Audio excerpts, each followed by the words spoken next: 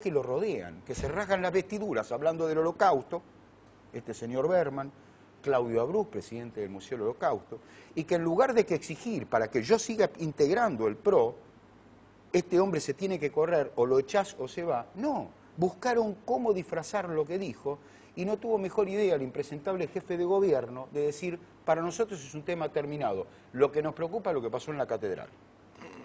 Como si él, como si él le asombrara lo que pasó en la catedral, este, como si él pensara muy distinto a como piensa Durán Barba. Yo no tengo al lado mío una persona que piensa así, sino estoy completamente de acuerdo con él. ¿El presidente de la Shoah dijo eso?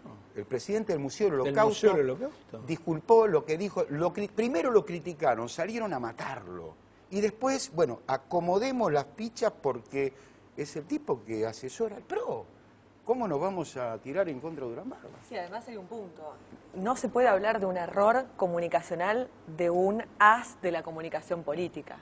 Me parece que para, ellos, para lo que es el PRO, es el asesor estrella, es el comunicador, eh, es el asesor en comunicación, no es un asesor en economía. Entonces, me parece que no es ingenuo que él haya dicho lo que dijo.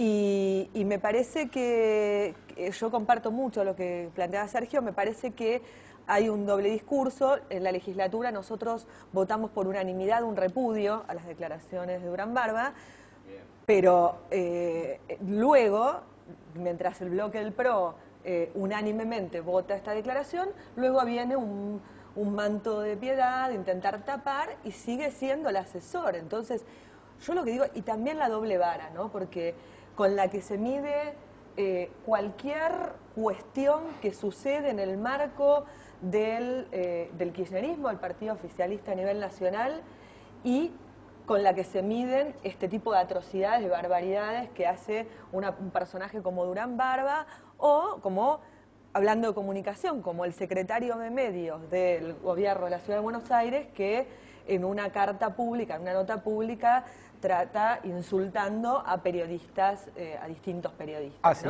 Claro, pero fíjate vos que, como bien lo planteabas vos, esto no es algo descolgado, es decir, como una casualidad. Axel Kicillof, La Nación, lo califica por su abuelo rabino, lo califica desde su judaísmo. Luego La Nación, famosa nota este, comparando a la, eh, a la cámpora con la juventud hitleriana. Este, es decir, no es una casualidad los hechos que se vienen sucediendo. Entonces yo creo que en definitiva, vos planteaste, ¿se va a saber alguna vez la verdad? Alguna vez se va a saber la verdad. ¿Sabés cuándo? Cuando tengamos justicia, cuando la justicia actúe. En este caso, el fiscal Marijuán se presentó, lo está tratando el juzgado de doctor Casanero, este tema de Durán Barba. Bueno, a ver si la justicia definitivamente nos da esa respuesta que necesitamos los ciudadanos de a pie, los comunes, que somos nosotros, en donde necesitamos que haya premios y castigos. Porque una persona que atenta contra el Estado de Derecho, que nos costó conseguir sangre a raudales, 30.000 desaparecidos, este, el 20-21 de diciembre, tantas cosas que nos tocaron de vivir, como hablábamos hace unos segundos contigo, este, y que no haya premios y castigos ante un hecho aberrante, y para mí mucho más aberrante a mismos judíos que integran ese, ese partido político y que están en el gobierno y se dan la mano y se sientan con un tipo que venera a Hitler. Entonces, ¿de qué estamos? Y se dice rabino.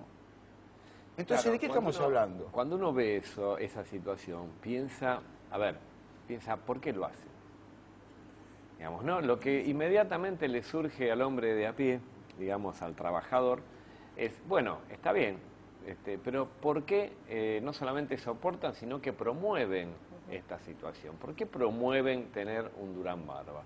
¿Por qué este, son complacientes con aquellos que tienen actitudes de carácter este, fascista o de corte fascista? ¿Por qué? Porque ellos piensan que esa, que esa es una forma de gobierno, que es una forma de organizar la sociedad, porque piensan que este, es, a ver, es un capitalismo salvaje, este, porque en definitiva este, es una forma del capitalismo, el fascismo es una forma del capitalismo de carácter absolutamente salvaje. ¿Piensan realmente todo eso? Y al hombre de a pie, a los trabajadores, no podemos tomar conciencia de que esas formas, además de resultar, de resultar escandalosas, son formas que no nos convienen, no, no, solo, no solo ya desde el punto de vista de las libertades individuales, no nos conviene desde el punto de vista de nuestra vida. Son sistemas que nos excluyen, son sistemas que nos generan una vida penosa.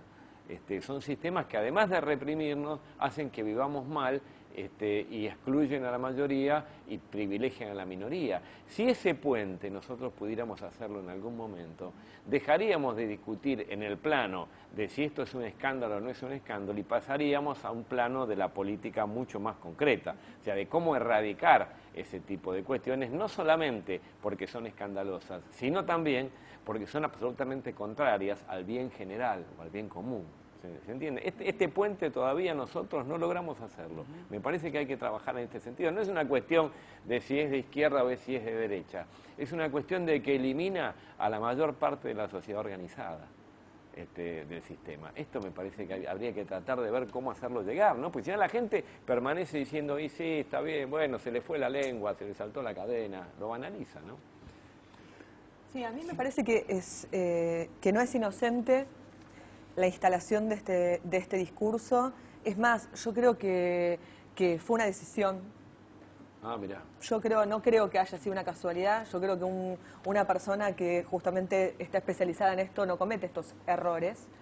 Claro. Además de porque lo piensa, creo que hay una, eh, una profundización del discurso y de las acciones políticas del PRO en busca de la consolidación de un voto eh, de un sector de, de la ciudad de Buenos Aires que no quieren perder en manos de masa. Entonces, me parece que si uno ve las leyes que hoy tenemos en la legislatura, que son eh, absolutamente aberrantes en muchos casos, leyes que vienen a destruir las condiciones eh, de seguridad en el trabajo, leyes que apuntan al trabajador y a sus, a sus derechos, eh, y hoy estar en tratamiento, en una embestida, leyes que pretenden destruir eh, y vaciar definitivamente las comunas. Todo esto en estas últimas semanas, yo lo pongo en contexto. Digo, a mí no me parece que todo esto real esto de, lo de la, nueva ley de comunas? La nueva ley de comunas es dar muchos pasos atrás y vaciar, plasmar eh, la vuelta al CGP.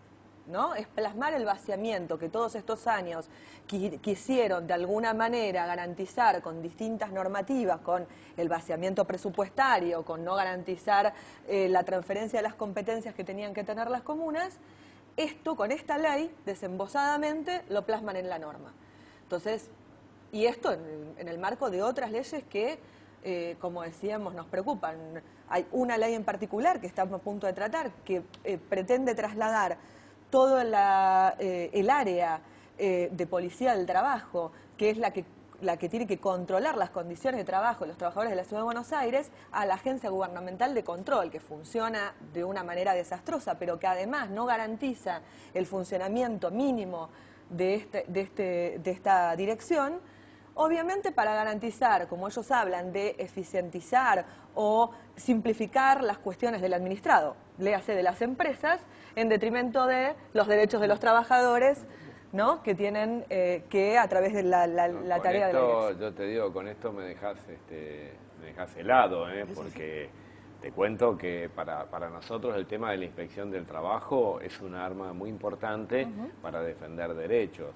O sea, poder lograr que la autoridad de aplicación este, sea afín a proteger al trabajador y vaya donde vos lo llames y vaya donde vos ejerzas una denuncia, para los sindicatos es una herramienta muy, muy fuerte.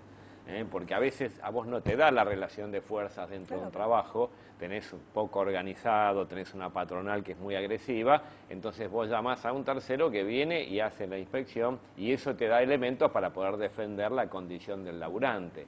Si esto no lo tenemos, este, yo creo que es un ataque como para, para defenderlo y defenderlo fuerte, ¿no? Bueno, una noticia eh, tal vez inesperada, eh, parece